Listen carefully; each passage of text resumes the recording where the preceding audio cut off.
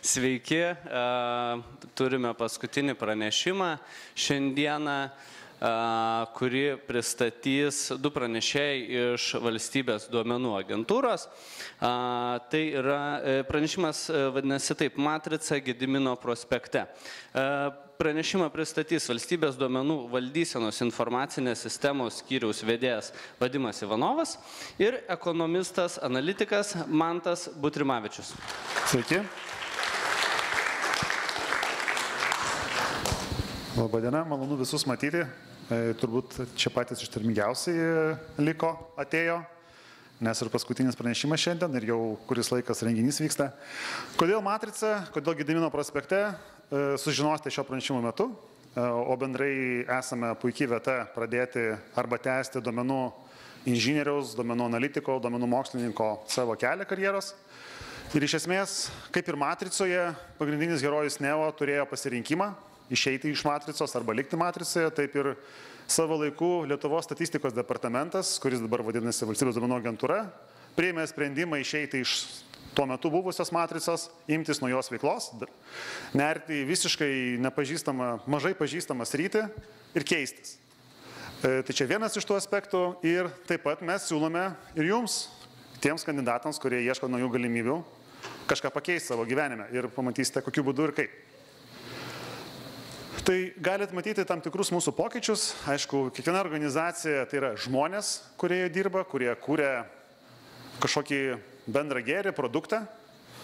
E, ir 19 metais mes, kaip ir minėjau, priėmė, institucija priėmė svarbų sprendimą keistis, e, vykdyti naują veiklą, padėti naudoti duomenis visame viešajame sektorėje. Ne tik gaminti statistiką, ne tik skelbti statistinius rodiklius, bet ir įgalinti duomenis, įgalinti institucijas priimti sprendimus pamatuotus duomenimis.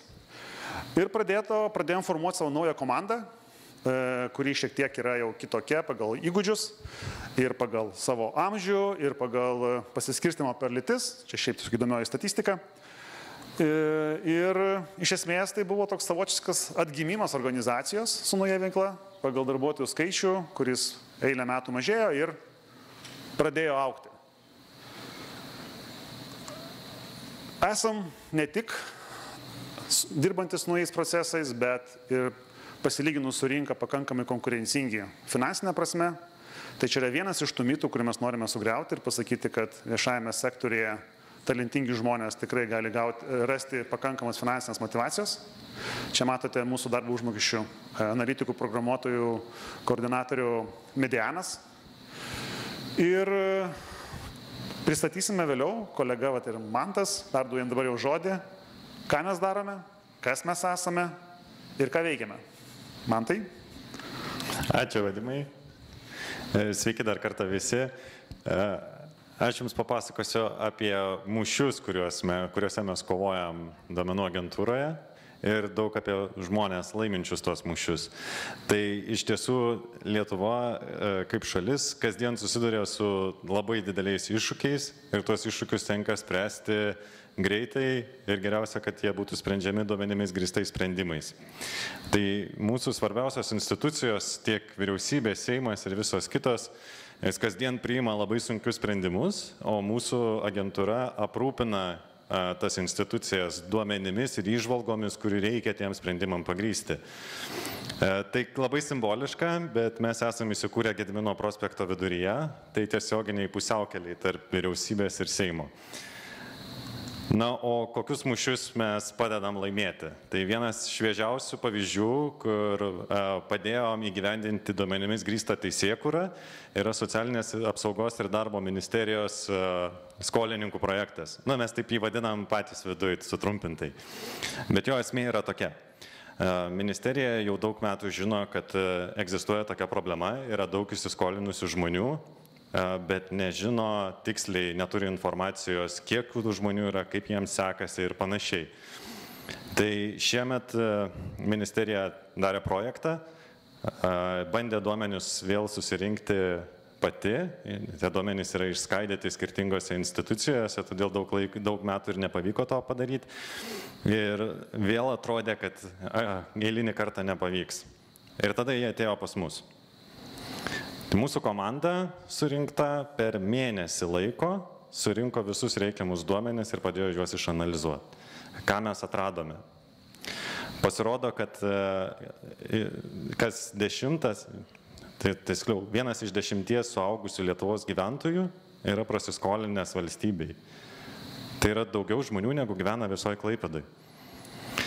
Kas dar svarbiau, kad daugiau nei pusė tų žmonių neturi jokių oficialių pajamų. Jie neuždirba atlyginimo, negauna pensijos, negauna išmokų. Tai reiškia, kad arba juos išlaiko jų artimieji, arba jie dirba nelegaliai. Tai pagaliau ministerija gavo tokią detalę statistiką, kurios reikėjo konkretiems sprendimam. Ir ministerija jau tos sprendimus padarė. Jau dabar yra parengti pasiūlymai, kaip reikėtų keisti teisės aktus, kad padėti tiem žmonėms išbristi iš e, skurdo liūno. Tai galbūt girdėjote šią istoriją žiniasklaidoje, matyti jinai bus artimiausiu metu aptarinėjama ir plačiau. Tai labai smagu, kad mūsų kolegos galėjo prisidėti prie šitos problemos sprendimo. Kita istorija, tai yra kitas mūšis, kuriame dalyvaujame kiekvienas iš mūsų, šiais laikais ypatingai aktualus, tai yra klimato krizė. Ir Lietuvoje yra daug institucijų, kurios e, renka informaciją, ją apibendrina apie tai, kokia yra mūsų aplinkos būklė ir kaip mes tą aplinką keičiame. Deja, bet dauguma šitos informacijos yra išbarstyta tų institucijų interneto svetainėse, visokiose Exceliuose, PDF ataskaitose. Tai labai sunku pamatyti, tai kokia ta situacija yra iš tikro. Na, bent jau tai buvo iki šiol. Nes šiemet e, vyriausybė domenų agentūroje užsakė sukurti viešą klimato krizės švieslentę. Ir šią švieslentę, kurią matote ir ekrane, sukūrė... Nesisuka. Šią švieslentę sukūrė dviejų žmonių komanda per šešis mėnesius. Tai ką tie žmonės padarė? Jie surinko e, iš daugiau nei 50 įvairių e, duomenų šaltinių reikiamus duomenis ir juos patogiai, gražiai vizualizavo viešai prieinamam puslapyje. Tai čia pateikiama 70 pačių svarbiausių aplinkos rodiklių. Ir manau, kad mes su ta komanda dirbsim ir toliau ir nesustosim tol, kol kiekvienam bus aišku, kaip galima išspręsti klimato krizę. Ir tai yra tik tai du nedideli mūšiai, kuriuos mūsų komanda laimėjo per paskutinius kelius mėnesius. Per paskutinius kelis metus valstybės domenų agentūra laimėjo kur kas didesnius mūšius. Tai visi puikiai prisimenam ir COVID krizę, ir migrantų krizę, ir pagalbą bėgantiems nuo karo ukrainiečiams, energetikos kainų krizę ir daugybė tų krizių atrodo jos kasdienės tampa ir jų sprendimui, prie jų sprendimo prisideda mūsų agentūros kolektyvas. Tai šiandien noriu jūs supažindinti su nedidelė dalim tų mūšius laiminčių žmonių. Jie ir šiandien ir mūsų stende yra kartu su mumis, tai kviečiu juos atpažinti pagal iliustracijas, pabandyti atpažinti ir paklausinėti, kaipgi jiems sekėsi ir ką jiems pavyko padaryti. O aš labai atvirai noriu Jums pasakyti, kad mes ieškom daugiau tokių mūšius laiminčių žmonių, nes iššūkių ateityje dar tikrai bus. Na ir susipažinkite, štai tautvidas Tautvidas šiaip yra fizikas, bet jis vadovauja programuotojų komandai. Ir šita komanda, be, visų, be daugybės kitų darbų, kuriuos daro, labai prisidėjo suvaldant COVID krizę. Nežinau, kaip mes būtume sugebėję pateikti patikimus duomenis apie COVID statistiką be šitos komandos. Tai labai, labai didelis ačiū jiem už tai. Susipažinkite su Eligijum. Eligijus šiaip yra psichologas bet pas mus vadovauja penkių programuotojų komandai. Eligijus pas mus yra duomenų ontologijos architektas. Skamba uh, įdomiai, ką tai reiškia. Tai Eligijus padeda mums su, suformuoti duomenų prasmes, padeda parengti duomenis taip, kad kitiems žmonėms būtų aišku, apie ką tie duomenys ir kad jais galėtų naudotis ir kiti. Labai labai svarbi rolė. Susipažinkit su Gita. Gita yra filologija e, ir mūsų organizacijos Morfėjus, kalbant matricos filmo terminais. Tai nežinau, kaip mes būtume pradėję šitą transformaciją be jos ir kiekvieną dieną jinai padeda mums išlaikyti kryptį to, to vykdant tą transformaciją. Susipažinkite su Marium. Marius šiaip yra bioinformatikas, bet jis yra vienas kečiausių mūsų programuotojų, sprendžiantis pačias sudėtingiausias programavimo problemas. Tai jisai daugybę kartų išgelbėjo ne vieną mūsų komandą, bet turbūt labai norėčiau paminėti tai, kad jo indėlis buvo kritiškai svarbus, kuriant įrankį, kuriuo padėjom nuo karo bėgantiem ukrainiečiam. Tai labai labai didelis ačiū. E, Odeta. Odeta yra pedagogė, mokytoja, kuri gliaudo mūsų domenų projektus kaip saulėgražas. Jis turi virš 80 projektų, kuriuose tvarko duomenis ir aš nežinau, kaip be jos mes susitvarkytume su tais didžiuliais duomenų srautais, kuriuos turim duomenų agentūroje. Ir galiausiai Paulius, vienas jauniausių mūsų uh, informatikų analitikų, kuris šiuo metu vadovauja 15 žmonių komandai. Žinokit, ta komanda viršė visus e, lūkesčius, kalbant apie duomenų gavybą. Jie rūpinasi, kad būtų susitarta su kitom institucijom, kad jos sutiktų prisijungti prie mūsų duomenų ežero ir suteiktų mums duomenis. Tai labai labai šauni komanda. Ir čia dar kartą primenu, ne visi, bet didelė dalis šitų žmonių, su kuriais aš jūs supažindinau, yra čia su mumis. Tai jeigu sudomino ar mano pasakojimas, ar tai, ką matėte ekrane, ateikit pas mus, pasiklauskit jų, kaip jiems sekėsi, kad išgirstumėt iš jų, o ne iš manęs vieno. Na ir... Ui. Per tokį trumpą laiką man labai sunku Jums papasakoti visus mūšius, kuriuose mes dalyvaujam, jų yra dešimtys, jei ne šimtai, e, bet dar sunkiau turbūt papasakoti ir parodyti jums mastą duomenų, su kuriais duomenų agentūroje mes dirbame. Tai niekas kitas tiek neturi duomenų. Ir čia jūs matote ne atskirius duomenis, o Lietuvoje veikiančias informacinės sistemas, registrus ir jų tarpusavio ryšius. Tai vienas burbuliukas atitinka vieną informacinę sistemą, kurioje gali būti milijonai, milijardai duomenų įrašų tūkstančiuose duomenų lentelių. Tai mūsų dabar pagrindinė užduotis yra šitas sistemas suintegruoti į vieną duomenų ežerą.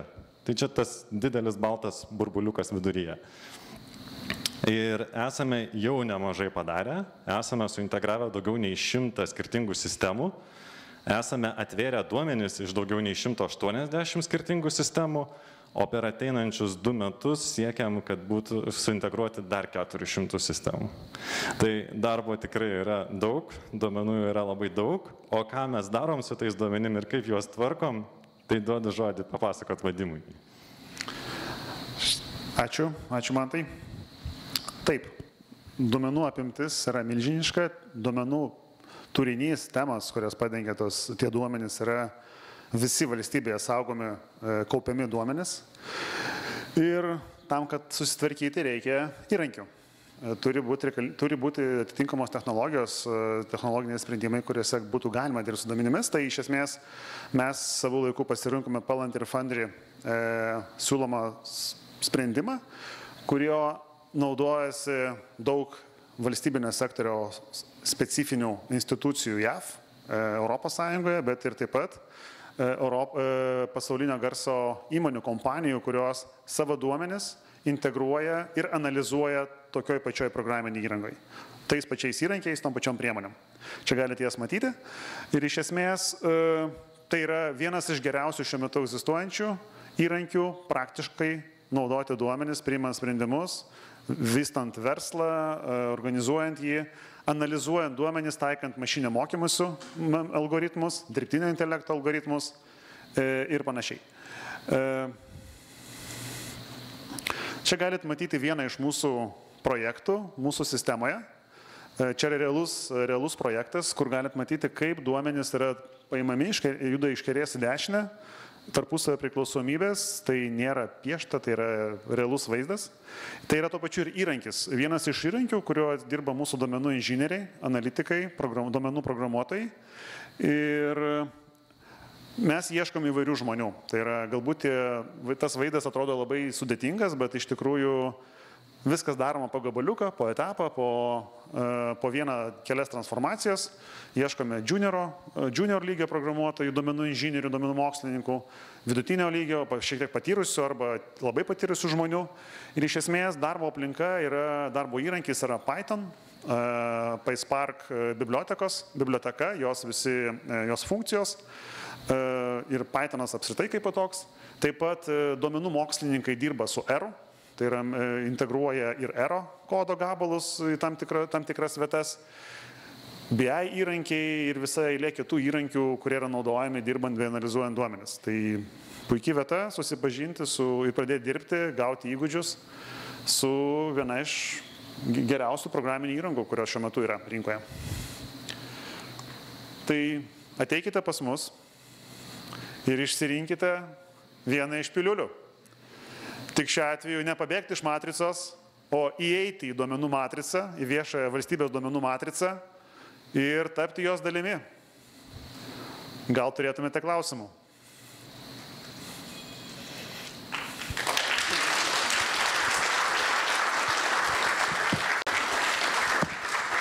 Kadangi matau, kad kuklinatės ir rankų nekeliat klausimams, tai kaip ir kolegos minėjo, tikrai galite juos rasti prie jų stendo, prieiti paklausti asmeniškai, pasidomėti, susipažinti su jais iš arčiau.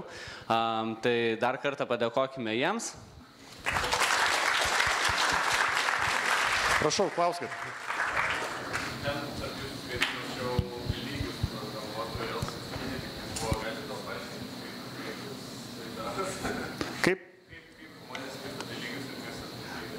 Tai yra ne mūsų viduj. E, mes iš esmės skirstome į tris lygius - junior, middle, senior. E, dar plus turime tam tikras specializacijas. Turime duomenų inžinierius atitinkamai pagal patirtį. Turime analitikus ir duomenų mokslininkus, kurie jau labiau specializuojasi jau į ekonometrinių uždavinių sprendimą, modeliavimą tam tikrą. Tai, o čia yra Pauliaus patirtis kaip programuotoja, ne, ne, ne mūsų darbe, bet bendrai jo kaip programuotojo vertinimas. Ačiū dar kartelį Jums. Um, o e, man belieka padėkoti Jums visiems už dalyvavimą, už buvimą čia. Tikrai mačiau ištikimiausių veidų, kurie buvo nuo pat pradžios iki pat galo. E, tai ką noriu e, pranešti, kad pati, pati mūgė vyks dar iki 5 valandos. Tad jeigu nepėjote, kažko nespėjot susipažinti su kažkuriomis įmonėmis, tikrai turite nemažai laiko tai padaryti. Tai kviečiu į pagrindinę salę ir ačiū dar kartelį už dalyvavimą.